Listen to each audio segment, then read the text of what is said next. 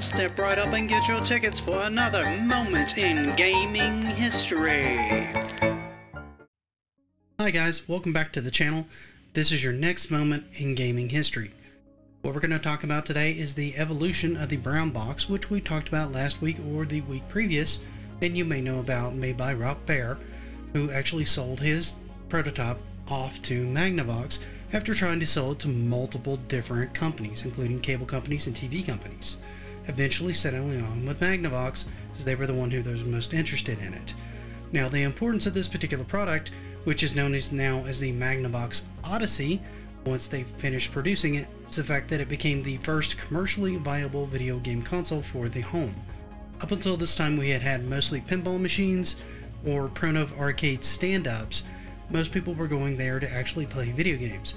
Nobody had the option of really bringing a console like this to their home unless it had been like a handheld game that only played like one game. What made the Odyssey different is that it could actually play multiple different games. Now, to bring this to the home, Magnavox actually simplified Baer's design to an extent.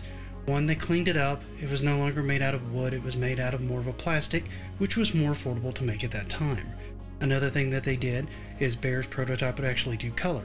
Magnavox realizing that most people didn't really have much of a color TV at their home due to the cost, and to keep costs down to the unit itself, removed the option for color.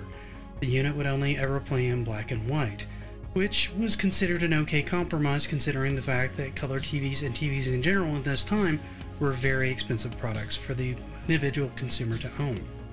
So, with that said, what they did to compensate is they would have a number of overlays that you could put on top of the TV that would add a splash of color and help indicate the type of game that you were playing.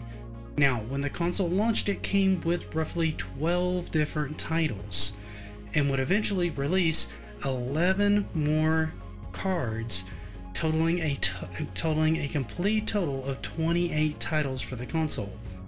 Now, the extra cards that were sold for this were sold for roughly $5.95 a piece. On top of that, it had a $25 add-on that would allow you to add on what they called a light rifle. Now this was basically almost looked like a, a BB gun from like the 80s, 70s, and 80s where you could aim it and it would shoot a beam of light at the screen. When it hit, it would indicate a tally to your points. This was a very clever way of marketing the system, and the system itself worked in a very clever way. Now, You'll notice I said cards, not carts. That's because there was actually no memory on the actual carts themselves. What they effectively did is when you put them into the console, it would rewire the console itself in order to bring up and reprogram it so that it would play the game of your choice on the screen.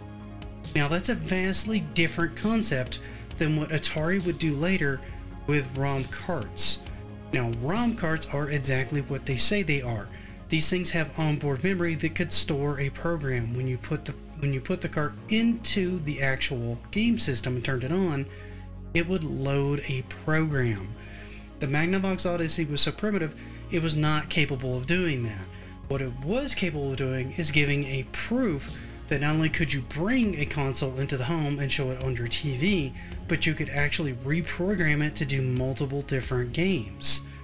Given the fact that it sold roughly around $65,000, 65,000 units in its first year, and totaled 300 over 310,000 units total in the lifespan before it was discontinued in 1975, that was more than proof of concept to push the medium forward to get more people clamoring to get into this market. So, what do you guys think? Do you think this is a key moment in gaming history? Do you think it's just an add-on to the brown box? Do you think it's not really worthwhile talking about at all and we should just jump forward to Atari Nintendo? Let me know in the comments. Don't forget to like and subscribe. And until next time, happy gaming.